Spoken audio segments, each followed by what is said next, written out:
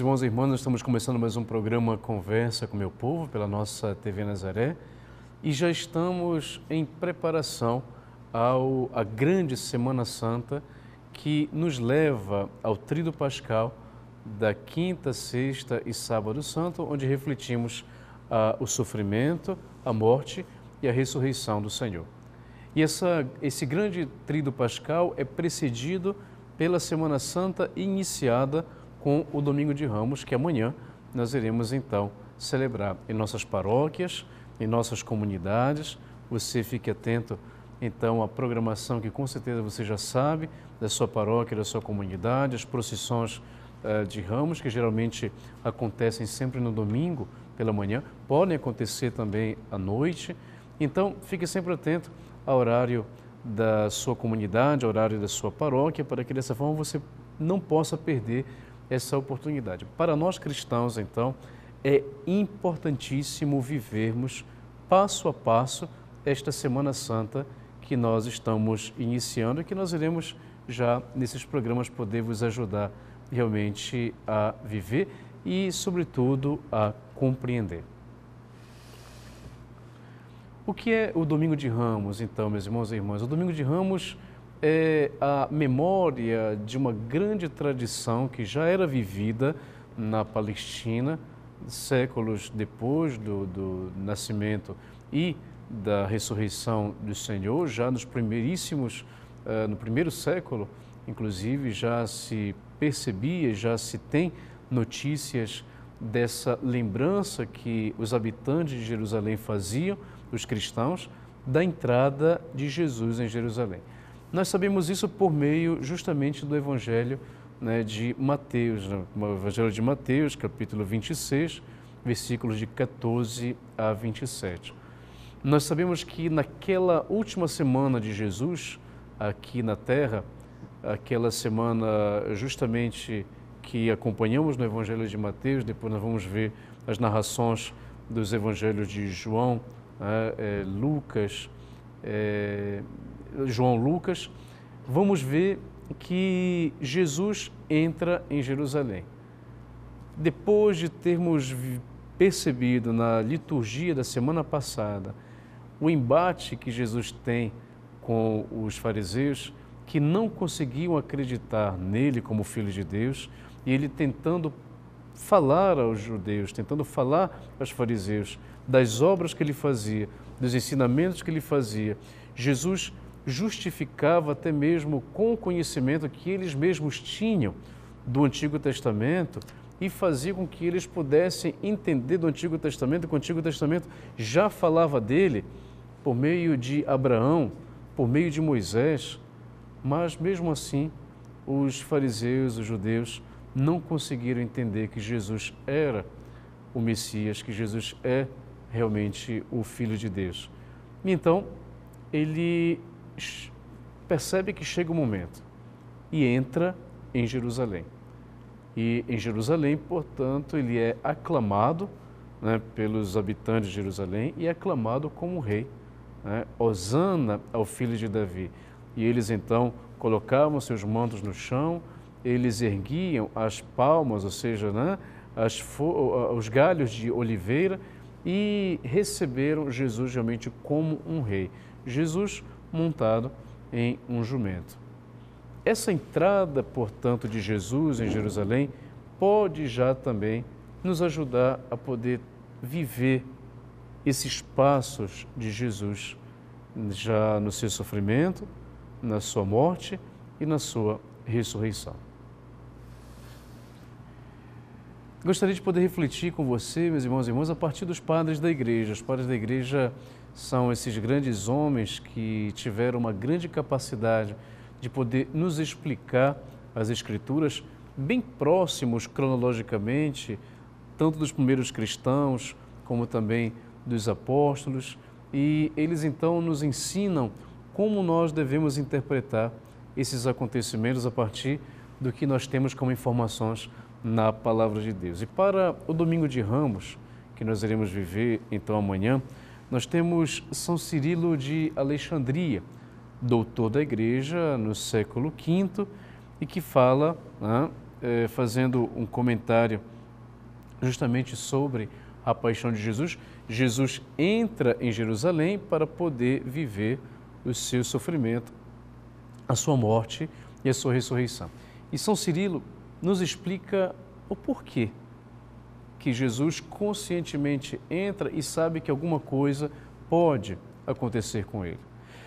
E São Cirilo nos fala, né, Cristo, apesar de sua natureza divina e sendo por direito igual a Deus Pai, não se prevaleceu de sua condição, mas humilhou-se até submeter-se à morte e à morte de cruz. Realmente sua paixão salutar abateu os principados e triunfou sobre os dominadores deste mundo e deste século, libertou a todos da tirania do diabo e nos reconduziu a Deus. Suas chagas nos curaram e, carregado com os nossos pecados, subiu ao lenho. E deste modo, enquanto ele morre, nos sustenta na vida e sua paixão se tornou a nossa segurança e o muro de defesa. Aquele que nos resgatou da condenação da lei, nos socorre quando somos tentados e, para consagrar ao povo com seu próprio sangue, morreu fora da cidade. Então, São Cirilo de Alexandria, que no quinto século, está já nos falando de que, apesar da condição divina de Jesus, mas ele conscientemente humilhou-se para a nossa salvação.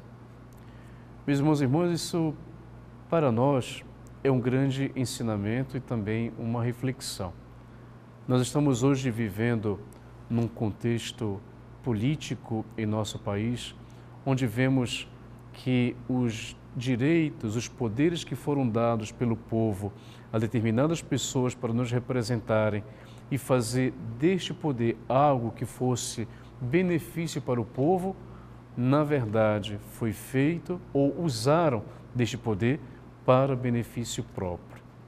E a partir daí vemos então essa onda de corrupção, vemos essa onda de uma ética ferida no sentido e no âmbito político do nosso país e aqui São Cirilo nos ajuda a poder pensar de uma forma simples, mas profunda, que pode também nos ajudar hoje no nosso dia a dia. O poder que Jesus poderia ter de ter feito tudo diferente é um poder que ele não usou, não usou. Jesus, apesar de sua natureza divina e sendo por direito igual a Deus, não se prevaleceu de sua condição, mas humilhou-se até submeter-se à morte e morte de cruz. Seja, se diante desse cenário político em crise que nós vivemos e essa onda de corrupção em que o poder que foi dado pelo povo a algumas pessoas foi usado para benefício próprio, pode também nos ajudar a pensar no nosso dia a dia. Aquilo que nos é colocado, aquilo que é colocado em nossas mãos como poder, seja do mais simples ao mais complexo diante da nossa própria família, diante do trabalho, diante da convivência com os outros. Como nós usamos esse poder? Na administração, por exemplo, quando nos é dado o poder de administrar aquilo que não é nosso e que, quem sabe, poderíamos usar esse poder a benefício próprio. Como é que nós usamos esse poder da administração? Depois, como nós podemos usar o poder também daquilo que diz respeito a algo que eu possa ter e que eu tenho outros que estão junto comigo, ou seja, o poder de, de administrar também outros nos seus trabalhos, outros naquilo que fazem. Mas eu posso ou eu poderia muito bem usar esse poder para fazer com que as pessoas me sirvam, mas não sirvam a estrutura por inteiro, como aquela mesma estrutura me colocou o poder de poder realmente administrar, para que tudo seja conforme aquilo que realmente deve ser o andamento da estrutura. Então vejam, a entrada de Jesus em Jerusalém para sofrer a paixão é a expressão de que Jesus não usou do seu poder para benefício próprio, mas ele humilhou-se e, humilhando-se, ele nos deu o grande exemplo de que se pode escolher por um caminho exigente, sempre pensando no outro, não a benefício próprio, não pensando somente em nós mesmos, mas podemos pensar em nós sempre na coletividade. E isso então nos ensina uh, São Cirilo de Alexandria, portanto, doutor da Igreja. Nós temos também outro texto, meus irmãos e irmãs, de São João Crisóstomo, que no mesmo quinto século da Igreja, refletindo sobre o Evangelho né, de São Mateus, então essa entrada de Jesus em Jerusalém faz com que nós possamos então entender a partir de São João Crisóstomo que fala: "O celebremos Jesus com hinos e demos nossas vestes aos que o trazem." De que perdão seremos dignos se outros cobrem com seus mantos o jumento onde Jesus se sentava e outros lançam as suas vestes a seus pés e nós, vendo o despido e não nos ordenando, despojar-nos de tudo, mas somente gastar um pouco e nem sequer essa pequena generosidade nós demonstramos. Então aqui, São João Crisóstomo já diretamente está nos falando sobre esse texto da entrada Jesus em Jerusalém, comentando aqueles elementos que nós encontramos no Evangelho de Mateus. E assim, meus irmãos e irmãs, nós iremos dar continuidade, portanto, a essa reflexão, já entrando nesta grande Semana Santa, com o Domingo de Ramos, sendo acompanhado pelos padres da igreja que comentam para nós esses textos que nós iremos, então, escutar na liturgia que nós iremos participar. Voltaremos logo mais com o programa Conversa com Meu Povo. Voltamos com o nosso programa Conversa com Meu Povo pela nossa TV Nazaré, falando sobre o início da Semana Santa com o Domingo de Ramos. Nós somos convidados a poder refletir sobre a entrada triunfal de Jesus em Jerusalém e o que isso significa para todos nós. Uma tradição antiga que já inicia na cidade de Jerusalém, com os primeiros cristãos que já faziam a recordação dessa entrada de Jesus com ramos de Oliveira e essa entrada de Jesus que nós vimos no Evangelho de Mateus, que você irá escutar justamente no momento em que ben a benção dos ramos será feita. Na liturgia, a benção dos ramos ela começa fora uh, da igreja, se é escolhido um lugar, para que dessa forma, desse lugar, se possa partir a procissão até chegar na igreja nós iremos escutar dois evangelhos, ou seja, nós iremos escutar o evangelho no início da procissão, antes da bênção dos ramos, que é justamente o evangelho de Mateus que nos fala dessa entrada de Jesus em Jerusalém, e depois, ao chegarmos à igreja, nós já iremos escutar a narração da paixão do Senhor, segundo o evangelho de Mateus. Nós, por tradição, então, nós carregamos ramos para recordar também que os filhos dos hebreus, né, com ramos de oliveira, foram também ao encontro do Senhor, clamando o Senhor, recebendo Jesus em Jerusalém como ele, se, como se ele fosse realmente um rei. E nessa lembrança litúrgica que nós fazemos, podemos também fazer uma reflexão a partir do que nós escutamos na palavra de Deus. No primeiro bloco, nós falávamos sobre uh, o comentário que São, uh, São, Tefren, desculpa, São Cirilo de Alexandria fazia, né, falando sobre a paixão do Senhor. Jesus entra em Jerusalém para sofrer a paixão, portanto, ele poderia ter usado do seu poder de ser igual a Deus para ter feito tudo de uma forma diferente e de uma forma mais fácil, porém, ele escolhe o caminho mais exigente, que é o caminho da humilhação. E então, com São Cirilo de Alexandria, quinto século da Igreja, doutor da Igreja, nós fomos convidados a poder pensar também no poder que nós temos em relação a outras pessoas, em relação a coisas, poder que nós poderíamos ou teríamos condições de usar em benefício de nós mesmos, mas não foi colocado esse poder para usarmos a nosso benefício, poderíamos usá-lo, mas não usamos, porque esse poder teve como objetivo nos ser dado para colocar em comum, ou seja, colocar para o bem comum, bem de todos aqueles que são beneficiados com esse poder que eu tenho. E fazíamos então a primeira reflexão em base né, ao caminho que Jesus escolhe quando ele entra em Jerusalém, aclamado pela, pela, pelo povo, aclamado pelos habitantes de Jerusalém, ele sabe ou ele já pressente que realmente aquele mesmo povo diante de tantas experiências que Jesus já teve uh, nos três anos de sua vida pública, um povo que às vezes diz uma coisa para ele, mas diz outra coisa, e então ele não tem certeza do coração daquelas pessoas. E mesmo sabendo dessa inconstância, dessa incerteza do coração das pessoas, ele sabe talvez que aquela entrada, aquela alegria que aquele povo está fazendo, na verdade, seja um caminho bem exigente e que com certeza será para ele e que todos nós sabemos. Mesmo assim, mesmo assim, ele não volta atrás. Ele não se deixa levar pela ingratidão do povo, mas ele entra em Jerusalém aclamado pelo povo e isso justamente que São Cirilo de Alexandria ele comenta. Poderia ter sido diferente, Jesus poderia ter usado o seu poder para si mesmo, mas não.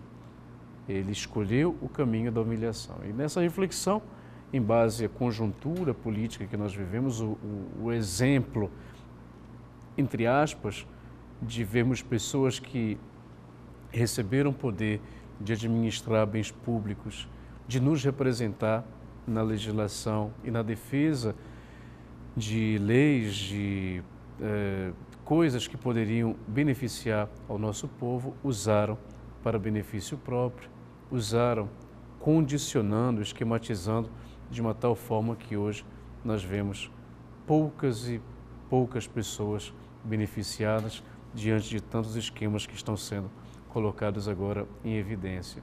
Um grande exemplo hoje de não fazermos justamente esse tipo de coisa. Olharmos para Jesus como grande exemplo de ter usado um caminho mais exigente para que realmente se pudesse colocar isso em comum, ou seja, ele pensou em nós, não pensou nele mesmo, mas ele pensou em nós. E ele pensou em nós, meus irmãos e irmãs, porque ele nos ama.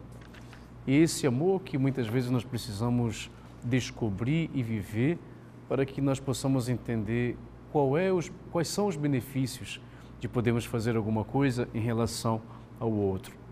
É, hoje nós temos a tendência realmente de podermos pensar em nós mesmos. Ah, é muito mais fácil pensarmos em nós mesmos porque nos conhecemos, então é, é, pensarmos em nós mesmos. Mas como é difícil podermos pensar no outro, fazer alguma coisa, muitas vezes até esquecendo de nós mesmos, para poder pensar no outro, porque logo nós pensamos, mas o outro nunca vai me agradecer, o outro não merece aquilo que eu possa fazer por ele. O que, que ele pode me receber? O que, que ele pode me dar em troca? O que, que ele pode me retribuir se eu faço alguma coisa por ele? Ele não vai nem aproveitar o que eu possa fazer por ele. São esses os sentimentos que muitas vezes nos travam para podermos, na disponibilidade, na gratuidade, podermos fazer alguma coisa pelo outro. Jesus, então, nesse tempo da Semana Santa, em que nós iremos refletir essa grande oferta que Jesus faz, realmente, meus irmãos e irmãs, nós podemos pensar no grande exemplo que ele é, em poder ter deixado de si mesmo em função de nós, porque ele nos ama. Já temos outro texto que podemos refletir também, texto de São João Crisóstomo, no século V da igreja e que nos faz e nos, nos ajuda a poder pensar nos elementos que nós encontramos no Evangelho de Mateus na entrada de Jesus em Jerusalém. E no primeiro momento, ele reflete sobre os mantos que as pessoas deixam né, na estrada para que Jesus possa passar, né, a, a, o sentimento de acolhida daquele povo de Jesus como um rei e a partir desses elementos, São João Crisóstomo, ele faz uma reflexão e nos diz: O celebremos com hinos e demos nossas vestes aos que os trazem.